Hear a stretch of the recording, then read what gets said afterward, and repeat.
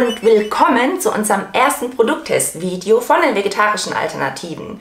Heute stellen wir euch ein ganz besonders cooles Produkt vor. Ich glaube, der eine oder andere kennt es vielleicht schon weil momentan ist es auch überall in den Medien zu sehen und wird besonders gehypt. Und zwar ist es der Beyond Burger von Beyond Meat. Und das ist der Beyond Burger, von dem wir gerade geredet haben. Der ist von der Firma Beyond Meat und seit gestern gibt es ihn auch bei uns in Deutschland im Einzelhandel zu kaufen. Da haben wir ihn auch her. Ihr bekommt ihn aber auch im Großhandel und in ein paar ausgewählten Online-Shops. Ich denke aber, dass es sich in nächster Zeit noch ändern wird und dass ihr ihn in mehr Geschäften bekommt. Was ist das Besondere am Beyond Burger? Das Besondere daran ist, dass dieser Burger so aussehen soll wie Fleisch, schmecken soll wie Fleisch und genau auch so riechen soll wie Fleisch. Und das komplett ohne Soja und Gluten. Der Burger ist nämlich aus Erbsenprotein hergestellt und er soll sogar so eine Farbe haben und so ein bisschen bluten wie Fleisch. Und zwar kommt das durch den Saft von der roten Beete zustande. Ja, und ob das Ganze auch so stimmt, wie der Hersteller uns das verspricht, das gucken wir uns gleich mal an, denn wir bereiten den Burger jetzt auch zu.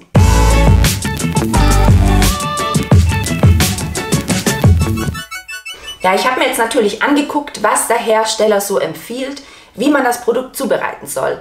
Die Zubereitung geht super schnell. Man soll den Burger von jeder Seite jeweils drei Minuten bei mittlerer Hitze entweder auf dem Grill oder in der Pfanne anbraten.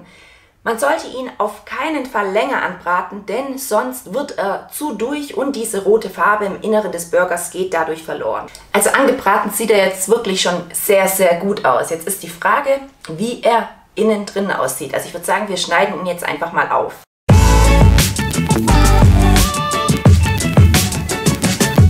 Und so sieht der Burger jetzt aus. Aber jetzt muss ich natürlich auch erstmal probieren, wie er denn so schmeckt.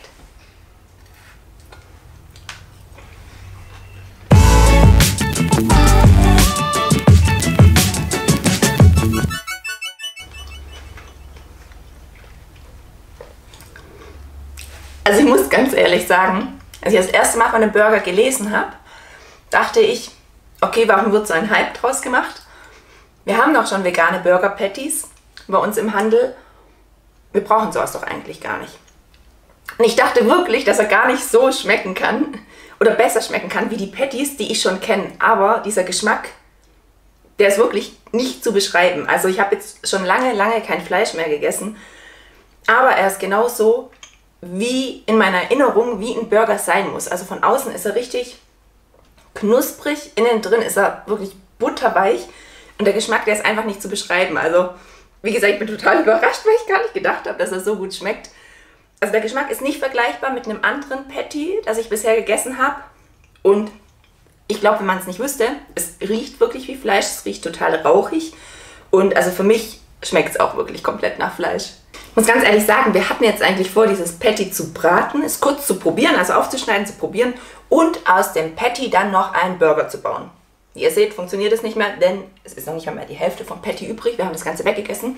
Aber zum Glück haben wir eine Zweierpackung aufgetaut. Das heißt, neuen Patty anbraten und Burger basteln.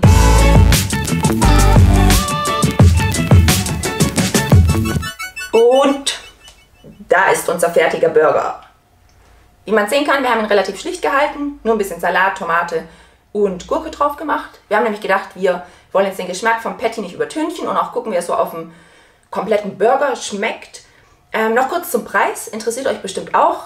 Das einzelne Patty kostet je nachdem, wo ihr es kauft, zwischen 2,50 Euro und 3,50 Euro.